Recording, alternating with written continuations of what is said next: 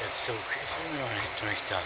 Aber das ist jetzt ein MW Nightjet durchgedonnert.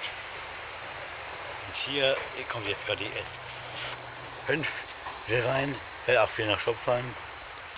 Und da kommt er endlich. Ey, 170, 112 mit einer Befüllung von 25 Minuten.